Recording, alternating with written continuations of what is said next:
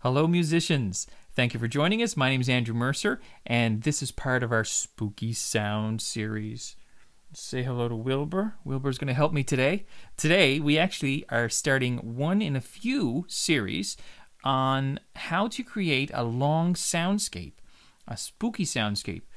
A soundscape is the kind of thing you might want to use um, maybe to play in the back porch while the kids are coming to your house for candy or maybe at a background for a party, or maybe you want to play it in your school, in your classroom if you're a teacher. So this is a really easy project to do, but it will let you customize this to be whatever it is you want it to be. So this is really cool, rather than just get something that's canned, you know?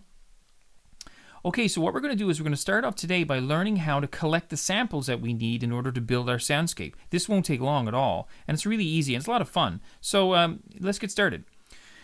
First thing, we're going to go to soundbible.com to collect our samples. Now, soundbible.com is one of many sites you can use on the internet. I am just using this one for no particular reason except that it's easy to use and there's a lot of nice samples there. You can also use Sound Dogs, Looperman. Just do a Google search for free samples and you'll find lots and lots of sound samples. Now, um, one little point we want to try to make the best quality sound we can, so we're going to try to use the best sound samples we can. When you're when you're previewing your sound samples, try to make sure you picked ones that have the best kind of quality, the best sound quality where there's no background noise, it's nice and clear, things like that. Also, you want to make sure you choose a WAV file for your sound samples and not MP3s. Now, there's a video right here that shows the difference between WAV files and MP3 files. Watch that tutorial. It's very, very good and it, it will explain to you exactly why you should be using WAV files instead of MP3 files. Okay, let's get started. Um, we're going to collect a bunch of samples. I'm going to show you how to do a first couple and then I'm going to let you do your own. So we need some wind noise because in the background we want wind, uh, we want it to kind of be a spooky kind of wind thing going on. Now I did a search for wind noise in the little search window here, and you can see there's a preview play button for each sample that a game came up with. I'm going to try one. That's pretty spooky. That's kind of loud. And that one sounds like some guy did it with his voice. Um, you know, that doesn't sound very good. But the but I will say, whenever possible, make your own samples. It's a lot of fun. I'll show you in another video. But if you got a barking dog in your backyard, uh, or maybe your neighbor's dog, get a microphone, record that dog. Anyway, uh, I like this one here best, so I'll just click wind.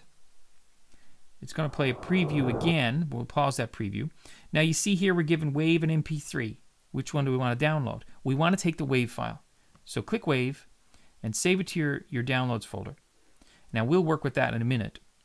Let's go on to the next one. How about we find um, we need um, we like footsteps. So let's try uh, foot footsteps. There you go, footsteps. Let's try that. Search. Now it says here's a few hiking on a trail. That's not going to be any good. Footsteps. Let's try that. That's that's pretty good, but it's a lot of background noise. Hear that noisy hissing noise?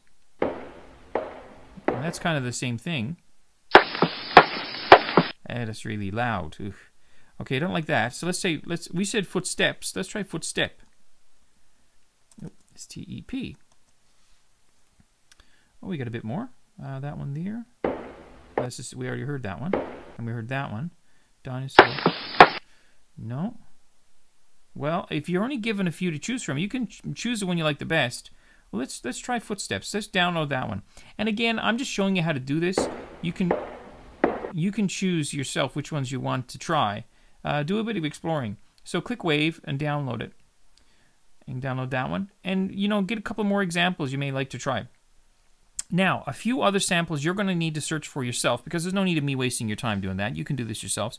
You need a screaming noise a screaming sound. So search for scream or screaming or psycho scream or something like that. I also like cat sounds.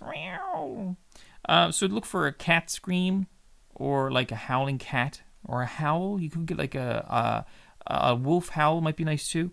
Squeaking door, like a creaking door closing. That's that's good. And we want a slam sound of a door slamming. Footsteps, of course, we have. Also, look for some thunder. You might want to find that, some thunder. Now, I know you guys might find all kinds of other things. You may come up with other ideas and make your soundscape very personal. Uh, maybe some like Frankenstein moaning kind of noises or ha ha ha ha. Also, check out these videos here. There are a couple of videos I've put up already, tutorials as part of this series, that show you how to make um, demonic laughing and and and talking too. How to make your voice sound really strange when you're talking, really scary. I will say um, it's really nice to personalize this. So um, take the video that's how to make a spooky voice um, and uh, and have a message. You know, if you've come to Love Street number 41 you are in trouble or something like that you know or like uh, if you're in a classroom and you're doing it for your students you could have you, every you could speak every student's name one at a time throughout the soundscape. Look out for john smith. He's got lots of candy or something like that. So have fun with it. Personalize it but use these videos in order to do that. Listen before before we go on to the next tutorial because the next one the tutorial is actually going to show you some some other things to do with the soundscape make sure you like this and if this is helping you make sure you subscribe as well. The next tutorial we're going to show you how to actually work with these samples to start putting them into your own soundscape so make sure you tune into the next part for, of this series. Okay see you on that one